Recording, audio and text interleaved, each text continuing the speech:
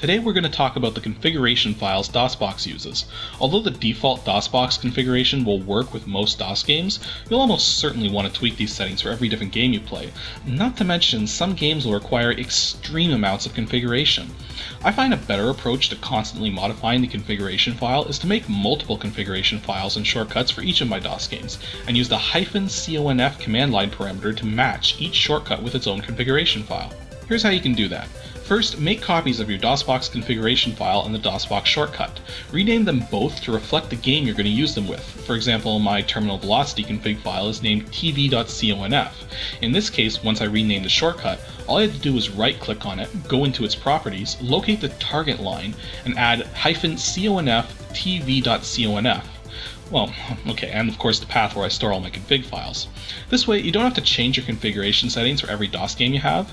There are front ends you can download though that could do similar things, but each of them has a learning curve and some of them don't even work properly. This is the method I prefer. As for the configuration options themselves, I'm going to describe what each section does and what settings you should pay attention to. I'm not going to discuss every single thing you can change, but I will go over the important ones. First is the SDL section, which controls the way DOSBox interacts with the operating system through the Simple Direct Media layer, which is what SDL stands for. The full screen setting determines whether or not the game starts in a window or full screen. You can switch between the two at any time by pressing Alt and Enter together, which is actually a common shortcut in many applications. To determine what display resolutions are used, there are two options called Full Resolution and Window Resolution. Under most circumstances, you should set full resolution to the native resolution of your monitor, and window resolution should be a multiple of 320 by 240 that fits on your monitor. So if you have a 1920 by 1080 monitor, then 1280 by 960 is the highest multiple of 320 by 240 that would fit. The output setting is very important because it primarily determines if hardware acceleration is going to be used for the graphics or not.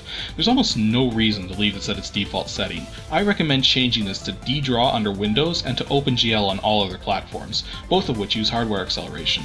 The OpenGL setting sometimes works on Windows, but I find it also crashes sometimes, while the DDraw setting is unique to Windows and simply won't work on other platforms only leave it set to surface mode if you're on a system lacking a graphics accelerator of any kind. One other SDL setting you should pay attention to is the mapper file. Whenever you press Ctrl F1, you'll bring up DOSBox's key mapper, which allows you to remap all keyboard keys and joystick functions however you see fit. However, if you save these changes to the default mapper file, you'll have to reset them manually whenever you go to play a different game. So if you intend to permanently alter any of the keyboard or joystick mappings, you should change the mapper file to something different and unique for the game that you're going to be playing. And don't worry that the file doesn't exist yet, because DOSBox will create it the moment you save your new key mappings. And also don't forget too that if you don't press the save button inside the key mapper, your new key mappings will still work, they just won't be saved and will reset after DOSBox closes. The DOSBox section is home to two very important settings, machine and mem size.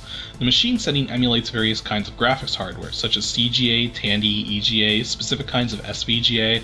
For the most part, you shouldn't have to touch this setting, but some very old games may not work as expected without changing this to match the kind of system the game was designed for. Also, if you're trying to get an SVGA game working, you may have to try several of the SVGA settings before one of them works, if any of them. This is a good moment to mention that there's another command line parameter you can add to your DOSBox shortcuts, hyphen no console. The console is a separate window that's helpful when you're trying to figure out why a game's not working properly, but when certain things happen, a message will get posted to the console window, and this can be a serious performance hit if messages are being posted constantly, such as SVGA debugging information. If you're going to be playing a game with SVGA support, be sure to add the no console command line to your shortcut. The mem size setting in the DOSBox section has a default of 16, and DOSBox itself will get nervous if you try increasing it any higher. Truth be told though, a setting of 24 is actually better than a setting of 16, because there's extremely few games that will fail from this change, and more advanced DOS games that want lots of memory will really like the extra 8 megs they'll get from this. A setting of 32 or higher might be necessary under rare circumstances, but a setting of 32 will also cause problems with games that don't detect available memory properly, which is quite a few of them. The render section has some really interesting options. Frame skip allows you to skip drawing certain amounts of frames to save when processing, but there's almost no reason to ever set a frame skip, especially when you're using hardware accelerated graphics. The aspect setting should almost always be set to true, however some games that use mm, interesting display resolutions might not look correct this way. If you think the game looks squished or stretched, then try turning aspect off and see if it makes a difference. The scaler setting allows you to choose from numerous graphic scalers in an attempt to either make a low resolution game look better, to make it look more interesting, or to get around blurring which occurs when stretching a low-res game to a high-res display. I find that for 3D games, it's best to use the normal 3x setting, as this virtually eliminates the bleeding between pixels on high-resolution monitors. My favorite scaler is called HQ, and I usually run it in its 3x mode, but it generally only works best with games that have limited color definition. Also, sometimes your scaler selection won't work because of the way the scalers are handled without hardware acceleration. Under these circumstances, you can add forced to your scaler selection to ensure that it works no matter what. But don't do this if hardware acceleration is disabled or the results will be quite undesirable. The CPU section is primarily to determine what speed of system is emulated. The two settings here you need to worry about are core and cycles. Under most circumstances, you shouldn't have to touch the core setting, but sometimes a game that will benefit from the core's dynamic mode won't trigger it properly and you'll have to set the dynamic mode manually. That said, some games will trigger the dynamic mode automatically, but will suffer strange graphical anomalies in the process. Such games should probably be run with the normal core.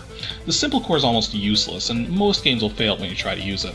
The cycle setting is perhaps the single most important setting in all of DOSBox. There are three ways you can configure the cycles. The auto mode is usually the best setting and will usually try to automatically determine the best number of cycles for the game you run. Similar to the auto setting is the max setting, which will run the game using the maximum number of cycles possible given the processing power of the computer you're running this all on.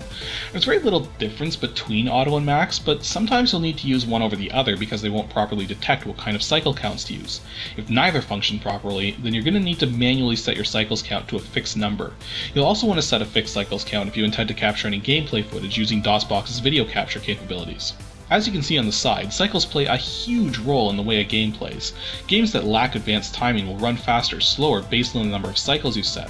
And yes, on actual hardware, the speed of a game could be dramatically different between different computers. Because of that, many such games have built-in measures to either try and determine the correct speed to play at, or have buttons you can press to adjust the speed of the game. Games that work in this manner almost always require fixed cycle settings. However, games that do have advanced timing will simply show differences in the frame rate, and with most such games you'll want to set the cycles count to max, though there will be exceptions because even now some game developers still don't produce games using advanced timing routines, instead relying on relatively stable constants such as refresh rates. You can tell how advanced the timing of a game is by seeing what happens when the game's overloaded with stuff to handle. The game slows down, the timing is simple. If the frame rate suffers but the game still plays at the right speed, the timing is advanced. Next is the mixer section, which has two interesting settings. The rate setting determines the maximum audio quality possible. If your system's powerful enough, you might as well increase this from 22050 to 44100. Though also keep in mind that depending on the type of sound a game uses, higher settings might be pointless. For example, if you're playing a game that's using Sound Blaster Pro in its stereo mode, you'll only ever get a rate of 22050 out of that, so in this case, setting the mixer rate higher won't have any effect on the audio quality. The pre-buffer setting buffers sound ahead of time so that it doesn't skip and stutter. Higher settings will result in less stuttering, but the sound will also be more delayed. I recommend a setting of 10, but you'll need a fairly powerful system to ensure no skipping happens at that level, and even then you may still need to set it higher depending on the game. The next few sections are MIDI, S-Blaster, and GUS. These control various MIDI, Sound Blaster, AdLib, OPL Synth, and Gravis Ultrasound playback settings. For the most part, you shouldn't change these, except perhaps the mixing rates to improve sound quality. And the only other reason you might make changes to this section is if a game doesn't recognize the default settings as valid for the sound cards in question. For example, if you're playing a game that wants the Sound Blaster card to be set to IRQ5 and won't recognize it on IRQ7, which is the default setting, that's when you need to change it here in the configuration file. The speaker section allows you to control the support and sound quality for the PC speaker, Tandy 3-voice chipset, and Covox slash Disney soundboards, all of which are very basic forms of sound support. By now, what these settings do should be obvious. The joystick section is very interesting, and those of you looking to use DOSBox with a joystick or gamepad should pay close attention, because configuring a joystick to work its best in DOSBox can sometimes be a nightmare, and can require lots of trial and error just to figure out what works. Firstly is the joystick type setting, which you should almost always leave set on auto, except when you're dealing with a game that specifically wants control using a Thrustmaster FCS or CH flight stick, in which case you should manually set the joystick type to one of those. Next is Timed, which toggles a special setting called Timed Intervals. Timed intervals improve joystick accuracy by a factor of 4, both in position and timing. As long as a game has built-in dead zones and supports 16-bit joystick positions, this will allow for very accurate joystick control. Unfortunately, most DOS games lack at least one of those two luxuries, meaning timed intervals can either cause unwanted drift or will completely fail because position values above 255 won't be recorded properly. In these cases, you'll need to leave timed intervals off. Next is the Swap 3 4 setting, which swaps the third and fourth axes of your advanced joystick or dual analog gamepad. This can be extremely helpful when trying to use extra axes like rudder and throttle control with DOS games that support them. Lastly is button wrap, which I highly recommend you set to false for every game you play. Setting this to true simply causes all buttons above the fourth one to wrap around back to the first. The only reason you would ever want to have this on is if you don't want to do extra key mapping with the key mapper, but still want buttons after the fourth button on your joystick to do something. The last few sections are fairly simple. The serial section lets DOSBox communicate with any modems attached to your system, thus allowing modem and serial links to other computers through DOSBox.